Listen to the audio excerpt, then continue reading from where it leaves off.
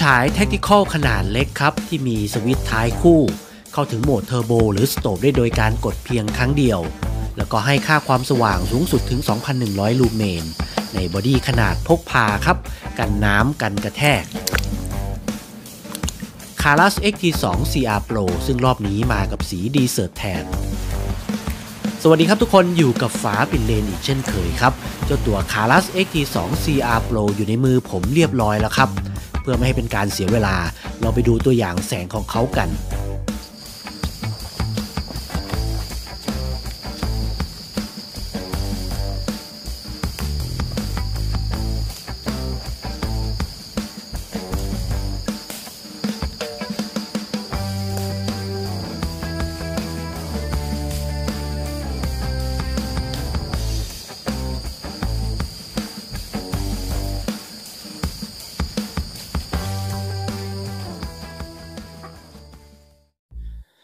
คราวนี้ผมจะพาทุกคนมาแกะกล่องเจ้าตัว XT2 CR Pro นะครับ ไฟฉาย Tactical จากทาง c a r a s ด้านหน้ากล่องก็จะเป็นรูปไฟฉายครับ แพ็กเกจทำออกมาค่อนข้างที่จะดี ด้านข้างจะเป็นสเปคนะครับ เกี่ยวกับพวกแบตเตอรี่ช่องชาร์จนะครับ ซึ่งก็เป็น Type C ด้านหลังจะเป็นสเปคเช่นกันครับ แต่ว่าจะเน้นไปที่ค่าความสว่างนะครับ ระดับแสงต่างๆ แล้วก็ accessory นะครับ อีกด้านหนึ่งครับเป็นค่าความสว่างสูงสุดระยะส่องไกลสุดนะครับ ก็จะเป็นสเปคเหมือนกัน เดี๋ยวผมจะพาทุกคนแกะกล่องดูอุปกรณ์ข้างในนะครับ ส่วนด้านบนครับจะมีสติกเกอร์เป็นสี desert tan นะครับ เพื่อบอกว่าไฟฉายตัวที่อยู่ข้างในนั้นเป็นสี desert tan และนี่คืออุปกรณ์ทั้งหมดที่ทาง Klarus ให้มาครับ ก็ต้องบอกว่าให้มาครบแล้วก็พร้อมใช้งานเลย ก่อนที่จะไปทำการทดสอบแล้วก็ test กันแบบจริงจังนะครับ ผมจะพาทุกคนดูรอบๆตัวเครื่องแบบเร็วๆเลยครับ ที่โดดเด่นมากเลยก็คือสีของบอดี้ของเขานะครับ สี desert tan ซึ่งเป็นสีใหม่นะ มีคลิปเหน็บครับค่อนข้างแข็งแรง ช่องชาร์จก็จะมีตัวซิลิโคนปิดไว้นะครับ ส่วนสวิตช์ท้ายก็จะคล้ายๆ กับหลาย ๆ รุ่นของทาง Klarus ที่เป็นตัว Tactical นะ คราวนี้เรามาเปรียบเทียบขนาดกับตัวอื่นๆของทาง Klarus กันบ้างนะครับ ผมมีมาเปรียบเทียบ 3 รุ่นครับ มาเริ่มต้นที่เจ้าตัว G15 เวอร์ชัน2นะครับ ขนาดใกล้เคียงกัน ทั้งตัวบอดี้แล้วก็ตัวโคมไฟฉายนะครับ ตัวที่ 2 ครับ เป็น c a r a s XT12 GT Pro ก็ต้องบอกว่าไซส์นั้นก็คือพ่อกับลูกเลยครับ ขนาดแตกต่างกันชัดเจน แล้วก็พี่ใหญ่ของเราครับ XT21X Pro ก็พอกับลูกเหมือนกันครับ รูปทรงคล้ายกันนะครับ แต่ว่าขนาดนั้นแตกต่างกัน โอเคครับ เดี๋ยวเราไปทดสอบแบบจริงจังกัน ไฟฉาย c a r a s XT2 CR Pro ครับ ตัวบอดี้ของเขาก็จะทำมาจากอลูมิเนียมอลลอยนะครับ ส่วนหลอดก็จะเป็นหลอด Cree XHP 35 SD ครับจำนวน 1 หลอด ซึ่งก็ให้ความสว่างสูงสุดที่ 2,100 ลูเมนทำระยะส่องไกลสุดอยู่ที่ 240 เมตรครับ โดยมีความเข้มของแสงตรงกลางสูงสุดอยู่ที่ 14,400 แคนเดล่า ซึ่งลักษณะแสงของเขานั้นก็จะเป็นแสงออกแนวกว้างนะครับ การกระจายแสงแบบนวลตา จากโคมซึ่งเป็นโคมแบบผิวเปลือกส้มนะครับ แล้วก็เขาให้อุณหภูมิแสงที่ 6,500 เคลวินครับ แสงออกแนวแสงสีขาว XT2 CR Pro นะครับ สามารถทำ runtime สูงสุดได้ที่ 150 ชั่วโมง ที่ระดับแสง 10 ลูเมนครับ โดยพลังงานทั้งหมดนั้นก็มาจากแบตเตอรี่ 18650 ความจุอยู่ที่ 3,100 มิลลิแอมป์ 3.6 โวลต์นะครับ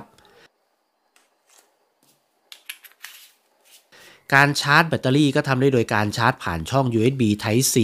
ที่บริเวณคอไฟฉายนะครับ ตอนชาร์จก็จะเป็นไฟสถานะสีแดง พอชาร์จเต็มก็จะเป็นไฟสีเขียว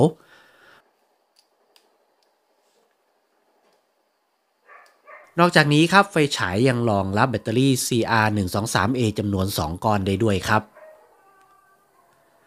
ขนาดของหัวไฟฉายครับจะอยู่ที่ 25.4มิลลิเมตรแล้วก็ความยาวหัวจรดท้ายจะอยู่ที่ 128มิลลิเมตรนะครับ มีน้ำหนักไม่รวมแบตเตอรี่อยู่ที่ 139 กรัม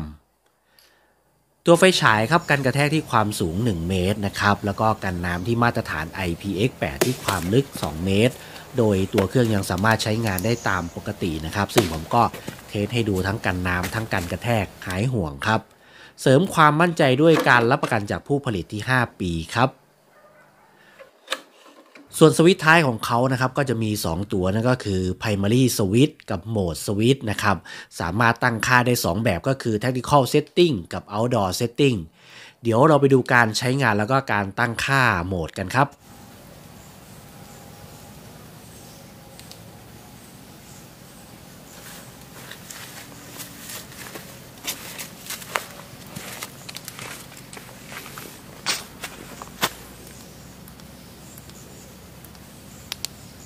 เรามาดูระบบสวิตช์ของเจ้าตัว XT2 CR Pro กันนะครับ เขามีสวิตช์อยู่ 2 โหมดนั่นก็คือ Tactical แล้วก็ Outdoor นะครับ Tactical Setting Outdoor Setting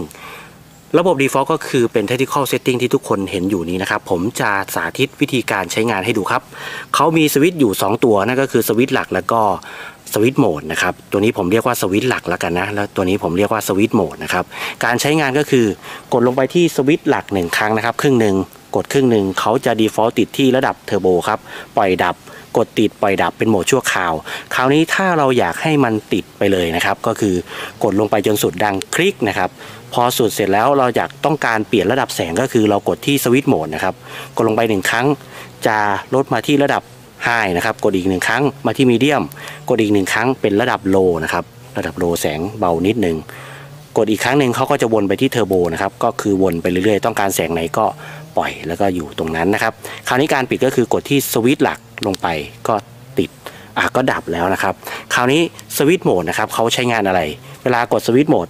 โหมดชั่วคราว กดติดปล่อยดับ กดติดปล่อยดับก็จะเป็นแสงสโตรบนะครับ กดติดปล่อยดับ กดติดปล่อยดับเป็นสโตบคราวนี้ถ้าผมอยากให้สโตบติดค้างไว้ ก็กดค้างสวิตช์โหมดไว้สักประมาณ 3-5 วินาทีนะ ผมกดค้างไว้นะครับ คราวนี้ผมปล่อย ผมปล่อยแสงยังติดอยู่นะครับ อ่า นี่ผมปล่อยแล้ว ผมปล่อยสวิตแล้ว แสงยังติด ถ้าเราอยากปิดก็แค่กดสวิตโหมดอีกครั้งหนึ่งครับ นี่คือแสงของอ่าระบบสวิตช์ Tactical นะครับ คราวนี้ผมจะเปลี่ยนจาก Tactical Setting ที่เราอ่าสาธิตการใช้งานเมื่อสักครู่นี้เป็น Outdoor Setting เดี๋ยวผมจะเปลี่ยนโหมดให้ดูก่อนนะครับ วิธีการเปลี่ยนโหมดของเขา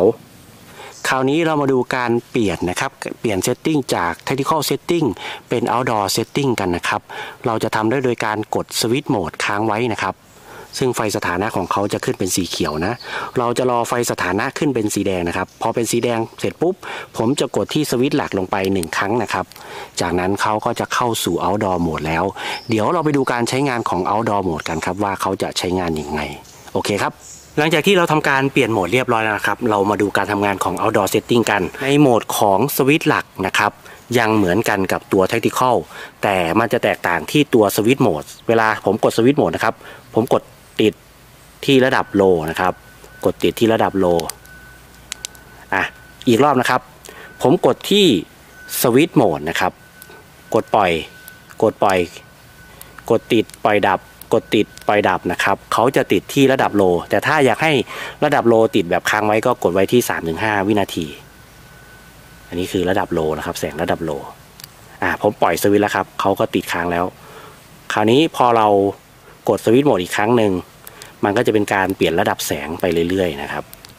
จากนั้นก็กดที่สวิตช์หลักเพื่อ เปิดเทอร์โบแล้วก็อีกครั้งหนึ่งจะเป็นการปิด นี่คือความแตกต่างระหว่าง Technical Setting กับ Outdoor Setting นะครับ ใครชอบแบบไหนก็ลองปรับโหมดกันดู อย่าลืมนะครับ การปรับโหมดกลับไปกลับมาก็คือกดที่สวิตช์โหมดจนไฟสถานะเปลี่ยนจากสีเขียวเป็นสีแดงกระพริบแล้วกดที่สวิตช์หลักลงไป จะเป็นการเปลี่ยนโหมดแล้วสลับระหว่าง Technical Setting แล้วก็ Outdoor Setting นะครับ โอเคครับสำหรับระบบสวิตช์ของเขา ครับทุกคนตอนนี้ผมก็อยู่กับเจ้าตัวนี้แล้วนะครับ c a r a s XT2 CR Pro พร้อมที่จะทำการทดสอบแสงภาคสนามในตอนกลางคืนแล้ว และแน่นอนครับผมมาพร้อมกับเจ้าตัว c a r a s เหมือนกันก็คือ XT12 GT Pro เพื่อที่จะใช้เป็นตัวทดสอบแล้วก็เปรียบเทียบด้วยกันนะครับ การทดสอบแสงหลักยังเป็นเจ้าตัวนี้อยู่ XT2 CR Pro ส่วนตัวเปรียบเทียบก็คือ XT12 GT Pro นะครับ ตัวแรกเป็นตัวเปรียบเทียบก่อนนะครับ c a r a s XT12 GT Pro โอเคครับ นี่คือแสงของเขา c a r a s XT2 CR Pro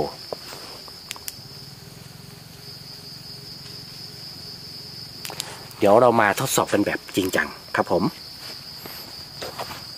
คราวนี้เรามาเริ่มต้นกันจากลักษณะแสงของเจ้าตัว XT2 CR Pro นะครับ ผมจะเริ่มต้นที่ค่าแสงระดับเทอร์โบของเขาก่อนเลยนะครับ นี่คือแสงระดับเทอร์โบของเขานะ ลักษณะแสงของเขาก็อย่างที่เห็นครับ แสงออกแนวกว้างๆ เดี๋ยวผมจะให้ดูใกล้ๆ ดูสปอตใกล้ๆนะครับ สปอตตรงกลางก็จะสว่างกว่าส่วนอื่นนิดนึงนะ ถ้าส่องพื้น แล้วก็จะมีการไล่แสงไล่ระดับแสงแบบสมดุลนะครับ ค่อย ๆ ไล่ความสว่าง ตรงขอบของสปิลก็ไล่ได้แบบเนียนตานะครับ ไม่ได้ตัดแบบทื่อๆ ก็ค่อยๆ เฟดค่าความสว่างลงนะ ลักษณะแสงของเขาเกือบจะกินพื้นที่ของมุมกล้องเกือบทั้งหมดนะครับ เกือบเต็มเฟรม คราวนี้ผมจะไล่ระดับแสงลงมานะครับ เขา default ที่เปิดที่เทอร์โบ จากนั้นผมจะไล่มาที่ High ครับ นี่คือแสงระดับ High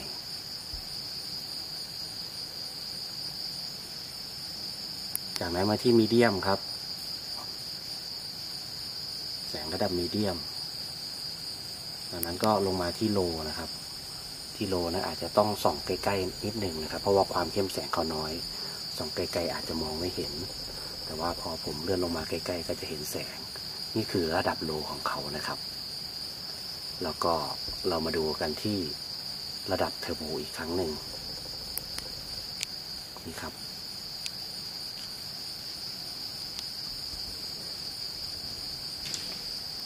คราวนี้เพื่อให้ทุกคนเห็นขอบสปิลที่ชัดเจนนะครับ ผมจะถือเดินออกไปข้างหน้านิดนึงให้ทุกคนเห็น โอเคครับ ผมจะเดินออกไปแล้ว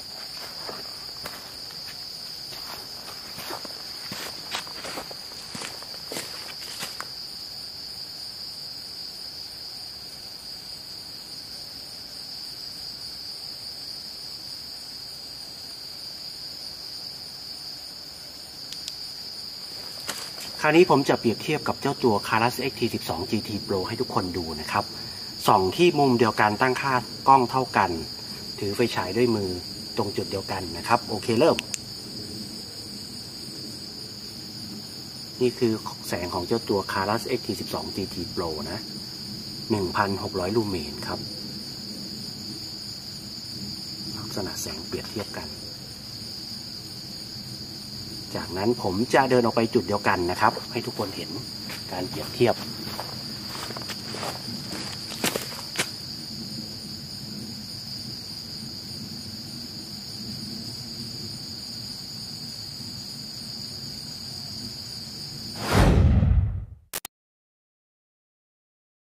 คราวนี้ผมจะถือกล้องแล้วก็ถือไฟฉายเดินเข้าไปในสวนยางพร้อมกันเลยนะครับ ข้างหน้าก็คือทางที่เราจะเดินนะ ผมเห็นยังไงในตอนส่องถือเดินนะครับ ผมก็จะให้ทุกคนเห็นด้วยเหมือนกัน โอเคครับ เรามาเดินไปพร้อม ๆ กัน นี่คือตัวไฟฉายที่ผมจับถือนะ โอเคครับ ไปเลย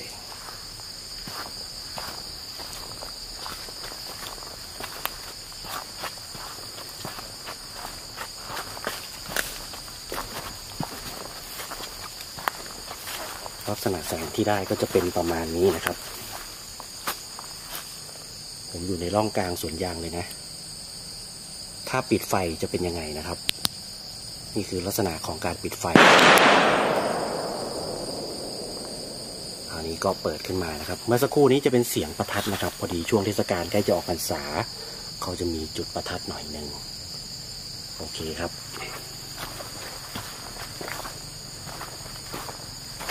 เวลาถือเดินก็จะได้ภาพได้มุมมองประมาณนี้นะครับ เหมือนว่าถือมาเหมือนกันเลย ตอนนี้ผมถือมาเป็นระยะเวลาตั้งแต่เปิดมานะครับ เปิดเทอร์โบมาหนึ่งนาทียี่สิบวินาทีนะ ผมดูเวลาจากกล้องนะครับ ความร้อนเริ่มส่งมาที่ตัว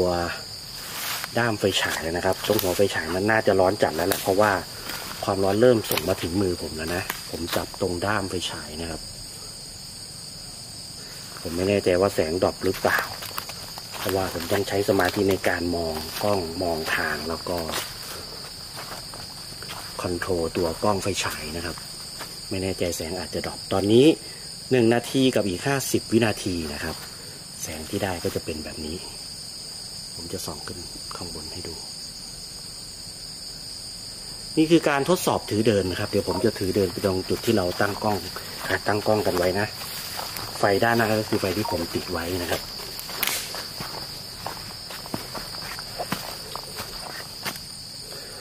ส่องระยะใกล้ๆ สบายๆเลยนะครับ ตรงนี้ก็ค่อนข้างลบพอสมควร มีหญ้าด้วย แล้วก็ส่องไปไกลๆ ตรงทิวสวนยาง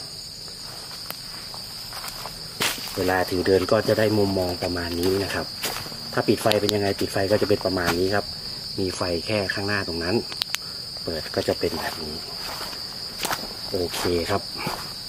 คราวนี้เรามาดูระยะส่องไกลของเขาบ้างนะ จากสเปคนะครับ แล้วก็การใช้งานจริง ผมถือให้เห็นชัดๆแบบนี้เลยนะครับนี่ก็คือระยะส่องไกลที่เขาทำได้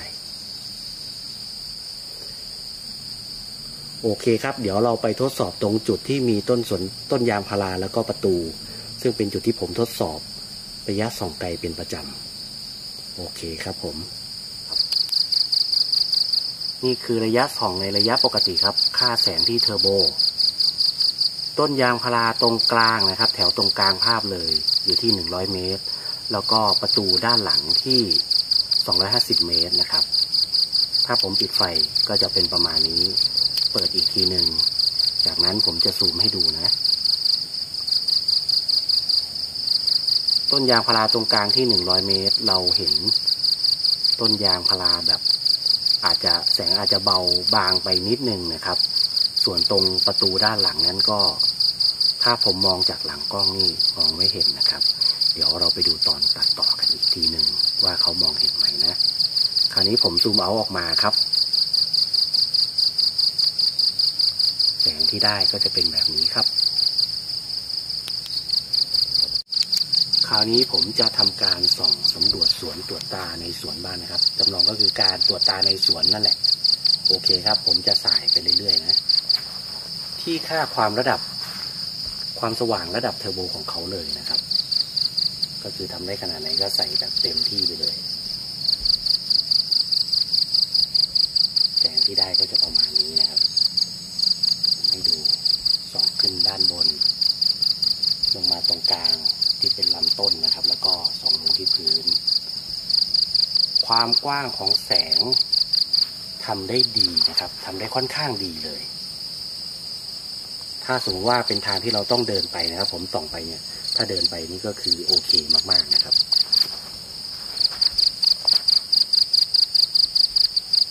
นี่ครับ แสงของเขาก็จะประมาณนี้ ระยะต้นยางพาราไกลๆอาจจะส่องไม่ถึงนะครับ เกินระยะของเขา แต่ว่าได้ความกว้าง ความครอบคลุมของแสงทางด้านกว้างมาแทนนะครับตรงทางเดินตรงกลาง